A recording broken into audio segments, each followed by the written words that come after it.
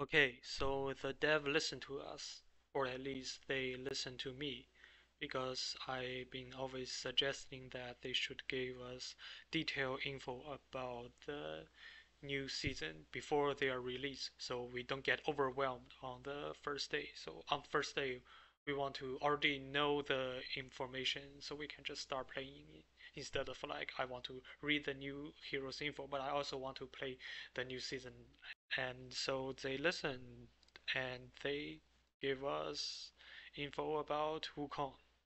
So his synergies are Ethereals, Royals, Demon, and uh, Protector. And being both an Ethereal and a Protector is interesting because the Ethereal synergies already has two very important character as Protector. That's Karnak and Katrina. And if we have another protector heroes, we might be able to build a ethereal protector team. And that could be interesting.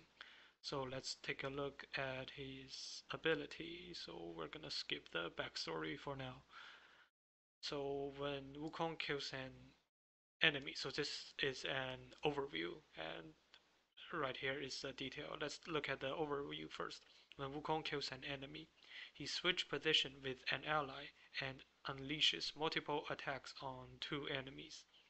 Each time Wukong switches positions, he gains an additional normal attack up to maximum of 10 times and his normal attacks have dispelling ability so I think dispelling is removing all enemy buffs. But the first part is a little ambiguous.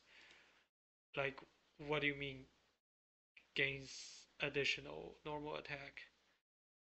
And okay, let, let's keep going. Additionally, every time Wukong switch positions, he can protect his allies, gaining both himself, granting both himself and teammates two layers of Holy Shield. Yeah, that's pretty nice. Okay, let's look at the details. So both of his active ability is dealing physical damage to frontline enemies, and that's pretty straightforward. And his passive, after Wukong kills an enemy, he triggers the swap effect one time. And after Wukong triggers swap effect, the number of basic attack hits is increased. Yeah, that's not very helpful as well. So we don't know what this means, like increase the number of basic attack.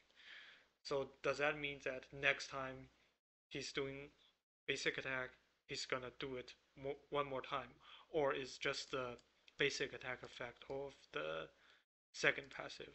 So, I mean, we don't know. So yeah, we got another instance of Omni Warding. So let's look at his second passive. After each instance of triggering the swap effect, Wukong and the swapped ally will receive the Holy Shield effect and will use normal attack to target two random enemies. When Wukong uses an normal attack, there's a chance to dispel enemy buffs. So it's not guaranteed, it's just a chance, and you'll have to see how high the chance is. So regardless of the information we are not sure, I feel like Wukong is kind of underwhelming because all of his ability are contingent on triggering the swap effect. So it's about after he triggers the swap effect, he will gain some bonus.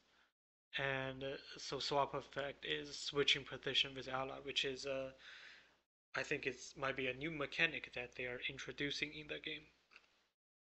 But in order to trigger the swap effect, Wukong need to kill an enemy, and that's a very difficult condition because if you have played Themis before, when Themis kills an enemy, she's gonna cast her abilities again, and it's gonna do a chain reaction. It's a really good effect in early game, but as we goes into late game, it's gonna be harder and harder for Themis to kill, kill her first enemy, and thus like she's not being able to trigger the effect, and this might be the same as Wukong, unless unless there's in the other new heroes they have the effect like they can trigger swap effect more easily like maybe one of the new heroes can trigger swap effect when they cast their ability or something. But I think Wukong on his own, especially at low star level, is not gonna all of a sudden start to carry your team. So yeah, if you are free to play or a low spender, I don't recommend getting Wukong. As for the information we know now, but if you have the budget to get all the new heroes, there might be a new broken combo that can shake up the meta. Yeah.